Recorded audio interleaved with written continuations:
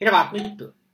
America විසින් වසර හතරකට පහකට සැරයක් මනෝරෝග නිර්ණායකයක් ඉදිරිපත් කරන. මේ නිර්ණායකයට අනුව මීට කලකට පෙර සමගලිගත්වය එකන්නේ පිරිමින් පිරිමින් සමග කරන ලිංගික ගනිදුනුත් ඒවගේම ගැහැනුන් ගැහනුන් අතර සිදුවන ලිංග ගණදනුත් මාංස්ක රෝග ලෙස සලකලා ප්‍රතිකාර කළ යුතුයි කියලා දැක්වා.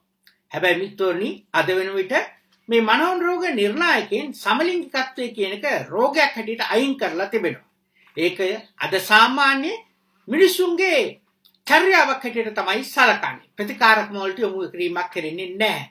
ඒත් සමගම බොහෝ දියුණු රටවල් වල මේ වෙනකොට සමලිංගික විවාහ පිළිගන්නවා. ඒ විතරක් නෙමෙයි තමන්ගේ රටවල් වල තියෙන දණ්ඩන නීති තුලින් මේ වරදක් හැටියට අර්ථ දක්වා තිබීම ඉවත් කරා.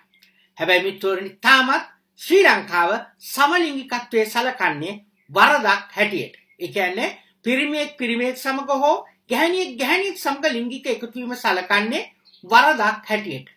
හැබැයි මිත්‍රෝනි මෙන්න මේ චෝදනාවට ගොදුරු වෙන්නේ බොහෝ වෙලාවට අහිංසකෙක්ව ගාමන්ට යන ළමෙක් එහෙම නැත්නම් බොහොම සුළු රැකියාවක් කරන අහිංසක ගැහණියෙක් එහෙම නැත්නම් කොල්ලෙක්. මේ රටේ ඉන්න ප්‍රබලයන් මේක කරනවා හැබැයි කිසිම කෙනෙක් මේක අභියෝගයට ලක් කරන්නේ නැහැ. කළ යුතු ක්‍රම දෙකක් තිබෙනවා. එක්ක මේක නීතිගත කළ යුතුයි. එහෙම නැත්නම් නීතිය හැමෝටම ගැලප එකසේ ක්‍රියාත්මක කළ යුතු වෙනවා. මම මේ කියන්නට යන්නේ පවිත්‍ර වන්‍යාරච්චිගේ චර්යාවන් සම්බන්ධයෙන්. පවිත්‍ර වන්‍යාරච්චි ඔබ කැමතුනත් නැතුණුනත් එකඟ වුණත් නැතත් සමලිංගික සේවනයේ කෙරෙහි විශාල ආසාවක් දක්වන කාන්තාවක්. පවිත්‍රා එක් අවස්ථාවකදී ශ්‍රී ජයවර්ධනපුර විශ්වවිද්‍යාලයට එනවා එක්තරා ක්‍රීඩාවුලලක් ප්‍රාරම්භන්න.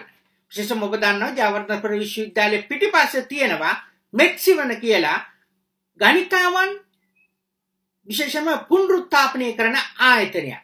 මෙන්න මේ ආයතනය තුළ ජයවර්ධනපුර විශ්වවිද්‍යාලය මගින් සංවිධානය කරා ක්‍රීඩාවුලලක්.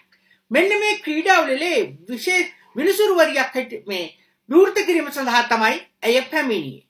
මේක තිබුණේ හෙන්ඩර් ප්‍රේඩිස් ක්‍රීඩාංගණය. ඉතින් මේ වෙලාවේ ඇය විනිසුරු විදියට ආවට මේ විවෘත කිරීම සඳහා පැමිණියට පස්සේ ඇය දකිනවා ලස්සන ගෑනු ළමයි.